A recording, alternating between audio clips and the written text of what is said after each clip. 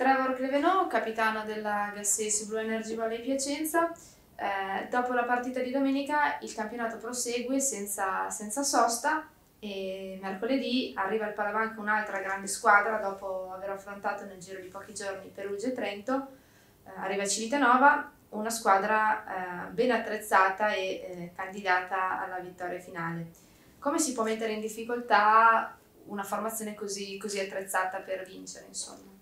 Già, prima di tutto dobbiamo pensare al nostro gioco, fare quelle, quelle cose che sappiamo fare bene, quello è, è la prima cosa su cui do, dobbiamo pensare. Poi sicuramente contro una squadra così forte dovremo prendere dei rischi, sicuramente per mettere in difficoltà, che sia in battuta, in attacco, qualcosa che dobbiamo fare in più per provare di mettere in difficoltà questa super squadra eh, Civitanova può contare su attaccanti e centrali eh, tutti sempre molto chiamati in causa dal, dal, loro palleggiatore.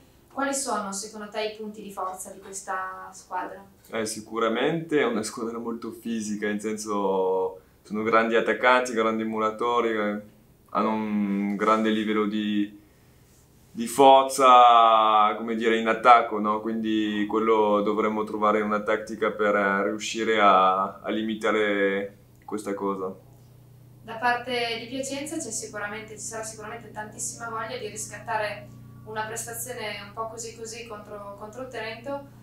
Cosa, cosa, vi siete detti, cosa vi state dicendo in palestra in questi giorni prima di scendere in campo contro una squadra così, insomma, come Civitanova? Sì, come ho detto prima, noi stiamo facendo il nostro percorso, stiamo, stiamo crescendo e quello che conta di più, piano piano stiamo stiamo lavorando tutti i giorni per, per crescere, è quello che, che, dobbiamo fare. La sconfitta contro Trento è stata abbastanza dura, loro hanno fatto una grande partita qua contro di noi e noi dobbiamo sempre pensare al futuro, al passo dopo e passare a fare una bella partita contro Civitanova domani, poi il risultato vediamo, ma dobbiamo pensare a noi.